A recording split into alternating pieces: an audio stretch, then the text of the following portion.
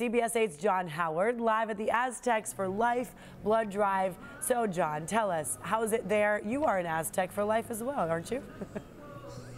oh, absolutely I am. Proud graduate of, ni- well, I'm not going to tell you what year. That, that would age me. Uh, normally, when I'm on this floor, there, there's 10 guys on the basketball court going crazy at one another and 12,000 fans going berserk. A much different atmosphere today as blood is being gathered and blood is being given to help save lives. Let's bring in uh, Red Cross District Manager Dharma Nichols. Dharma, what, what sets the uh, Aztecs for Life blood drive apart from other blood drives that go on throughout the county?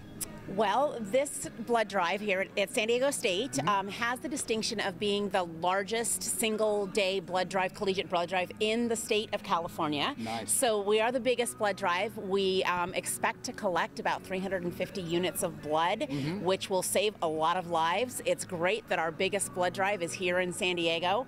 I'm a San Diego State grad as mm-hmm. well. Yep. So um, we love that it's it's here. We have a great day. We've got lots and lots of goodies that we're giving away. We yeah, what do you got? What's in the goodie bag? So we've got these really cool Red Cross T-shirts mm-hmm. that are uh, Aztecs for Life Blood Drive T-shirts, and since it is our seven, seventh annual, they are collector's edition. They change every year. uh-huh. um, we also have um, Elf socks oh. celebrating the 20th uh, anniversary of Elf. We've got a man, uh, just a bunch of great donors. We've got some great food giveaways. We mm-hmm. got free lunch, Woodstock Slice, uh, Jersey Mike subs, just all kinds of great stuff. Now, I understand a lot of the uh, don- donors today are students as opposed to the public, but I understand that there are still walk in spots available if people want to come down and, and, make a donation. Is that correct? There are. So if you are available and you have some time, we'll be here till 6. Mm-hmm. Please walk in. We can use every pint of blood that we can get. Okay, very good. And where is this blood going to go to? Where, where is it spread out to? So it goes to our local hospitals first, and then because we are Red Cross, we are a part of the rare blood registry throughout the United States, uh-huh. so it can go anywhere that it's really needed.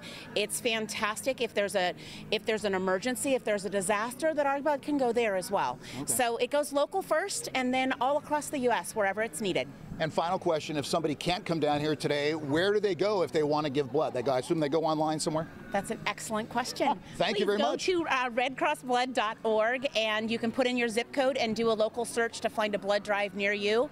Every donor is precious and every pint of blood counts. So thank you. Awesome. Well put, Dharma. Thank you very much and uh, enjoy your day here. Thank you. And we hope it's a wild success. I'll have more reports as the day goes along, but uh, Neda and Eric, great time here. A much more important thing going on at uh, Viejas Arena than typically when I'm here for entertainment purposes. Let's go back to you now.